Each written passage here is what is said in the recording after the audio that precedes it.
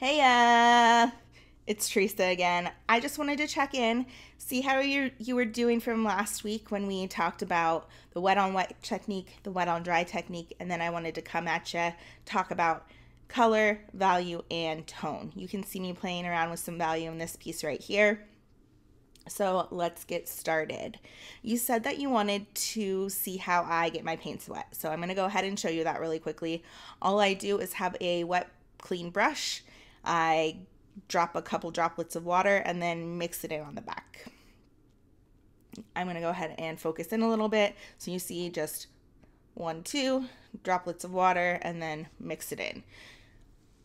I have a whole blog post where I go over all of the materials that I use. I make sure to use stuff that isn't going to do anything that harms any animals or anything like that. It's really important to me that my job doesn't do anything that degrades the environment or harms animals. So I do a lot of research to make sure that what I'm using, even when I'm teaching you, doesn't do anything like that. If you're just starting out and you're experimenting, feel free to use whatever materials that you're comfortable with and I have some I have some suggestions in the description below. But if you want to see all the details on exactly why I choose what I choose and what exactly those materials are, you can go ahead and head on over to theresahaddow.com and whoo, let's go. Enough about that. So today we're going to talk about color, value, and tone.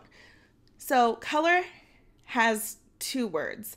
It's often referred to as color. That's what you and I refer to it as. And then there's also, we'll see it in, referred to in books and stuff as hue. They're both the same. So if you think about when you see the color green and you see a green and there's like a teal and you're like, oh, that's more blue. Or in you see like a yellow green and you're like, oh, that's more yellow. It has a yellow hue or a blue hue. And so that's all that means. It's just has more of that color in it than another color.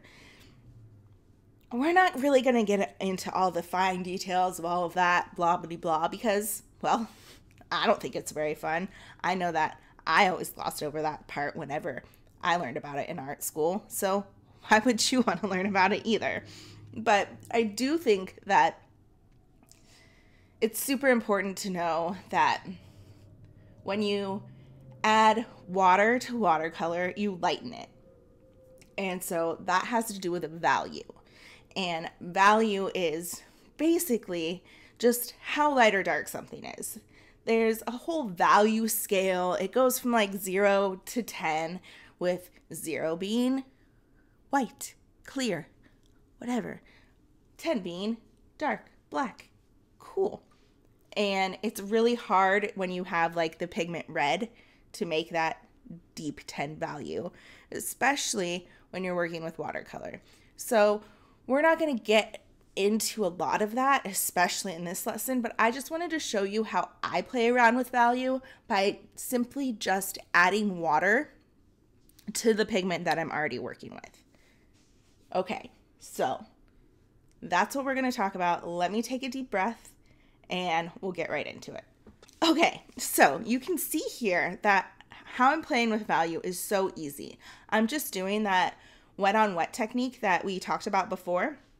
And at the beginning of this, I used probably two or three different drops of full pigment on my brush. I spread it around, let it do its thing, and then with a wet on dry technique, where I simply just let all that pigment from the first step stay on my brush, dipped it into the water in the middle of the cup, pulled it straight out. This is very important.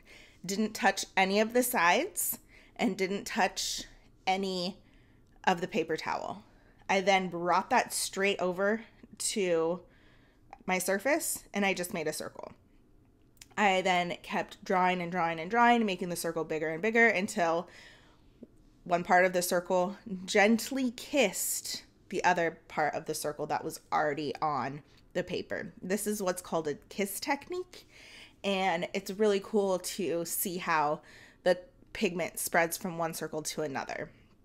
you can see that as you do this, you just dip the paintbrush in, pull it out, and then make a circle, that the value of that color gets lighter and lighter. So in this piece right here, next to where I'm putting all the pigment in, you can see how there's a very light pink circle. And I achieved that simply by adding more water to the same pigment that I've been working on with this whole piece. So I'm just going through the rest of the painting and doing this to see what kind of different values that I can get from simply adding water. You need to work really, really fast. You can see here that I moved too slow, and so this part dried. It makes it so that there's not that easy flow between circles that I want to carry on for the rest of the piece and you can see how I'm trying to correct it. But an easy way to fix it is just to move as quickly as possible. So that's basically it. When you're working with value, all you need to know is you can lessen lessen the depth of the color by adding water. And that's how you do it with water. Watercolor, I mean. You will hear that people talk a lot about tone, and we'll get to tone a little bit. I don't usually do a lot of tone when I work with watercolor, and that's because tone deals with when you're adding black to a color. I don't like to add a lot of black to a color, um, especially watercolor, because I think it makes it look, look muddy. But I do a lot of layering to make it so that the value of a color gets darker to give the illusion of tone. So we'll get that to that in a later lesson. Here I am just giving you a little teaser for something that's going to come up next week and that is simply mixing colors and how fun that can be. So here I just have some yellow. I'm doing the same technique that I've been doing throughout this whole piece and just wet on wet well, this is wet on dry, and then adding or making the circle bigger and then pushing that pigment a little bit so that it mixes and then turns to orange. So it's really fun to see how you see how that yellow went all the way to the top of the page. Anyway, this is the finished piece. If you want to see the series, you can go ahead and head over to my shop. If you want something custom, I'd be happy to do that as well. And I can't wait till next week when we get to explore more together. Thanks so much, guys. I'll talk to you soon. Bye.